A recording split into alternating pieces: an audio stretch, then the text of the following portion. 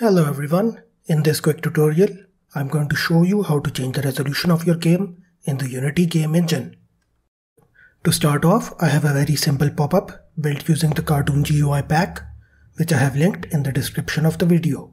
The pop-up just has a close button and a title at the top. To change the resolution, we need two UI elements. The first one is going to be a drop-down from which the user can select the resolution and the second one is going to be a toggle button using which the user can change the full screen mode of the game. For this drop-down, add a label on the left side. Change the font and the position of the label as required. Next, we are going to add the drop-down in front of this label. Change the position and the size of the drop-down as required. I am also going to quickly adjust the visuals of the drop-down to match my user interface and we have our drop down ready, inside of which we are going to display all of the resolution options available. The user can then click on any of these options to change the resolution of the game. We are going to add all of these options manually through our code. So for now, we just want to delete all of the options available in the drop-down. Next, let's create the toggle for changing the full screen mode of the game. Adjust the size, position and the visuals of the toggle as required for your user interface. And also we want to add a text label on the left side. Now let's start adding the code for changing the resolution. On your pop-up, create a new script which we will call the settings menu manager. Open up this new script. In the script, start by importing the Unity UI library and the TextMesh Pro library. Next, create the reference variables for the dropdown and the toggle and after this, we need an array of resolutions in which we are going to store all of the available resolutions. Also, we need a boolean inside of which we are going to store the full screen value. We will also need an integer variable to save the value of the resolution selected by the user. Now in our start function, the first thing we want to do is set the full screen boolean to true. After that, we can get all the available screen resolutions in our resolution array using screen.resolutions. Next, we want to add all of these resolution options to our dropdown.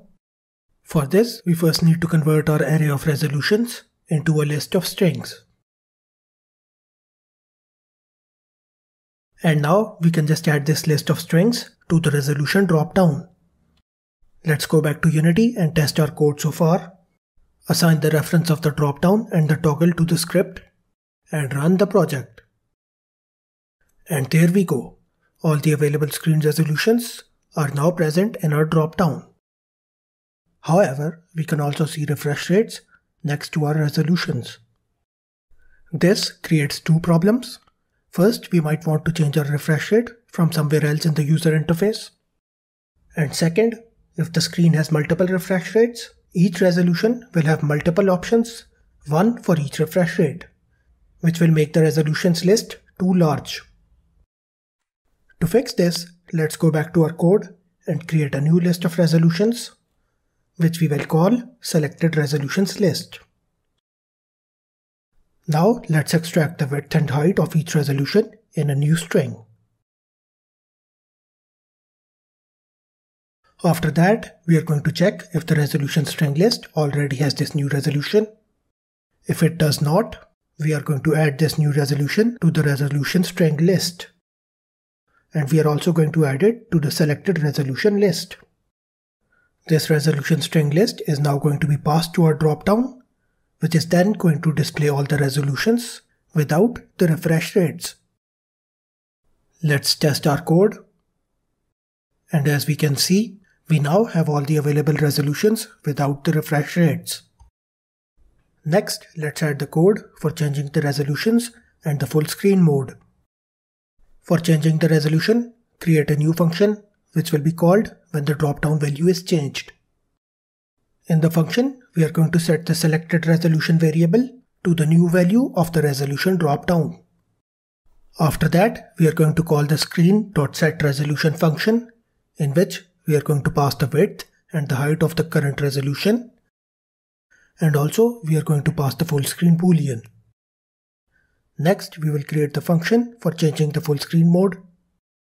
This function will be called when the value of our toggle is changed. And in this function, we are going to set our is full screen boolean to the current value of the toggle.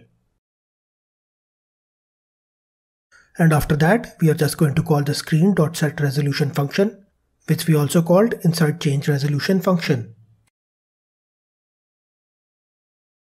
And that's it for the code. Go back to Unity, select our resolution dropdown, and in the on value changed of the dropdown, assign the change resolution function we just created. Similarly, in the on value change of the toggle, assign the change full screen function we created. And that's it, we are all done. If we try running the project in the editor and try changing a resolution, nothing will happen. To test the code, we will need to build our project and then change the resolution in the build. Let's run the build. And here we can see that the resolution changes just as we want it to. And we can also change the full screen mode using our toggle. That's it for the tutorial.